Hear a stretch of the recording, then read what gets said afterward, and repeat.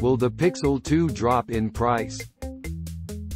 The Pixel 2 XL now costs $699, a $150 discount when compared to its original MSRP of $849. Oddly, the Pixel 2 hasn't been discounted at all, meaning it's now just $50 less than its larger brother. But if you really have to have a brand new Pixel 2 XL right now, this is an option available to you.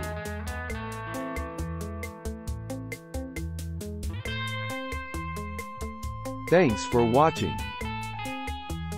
Please subscribe.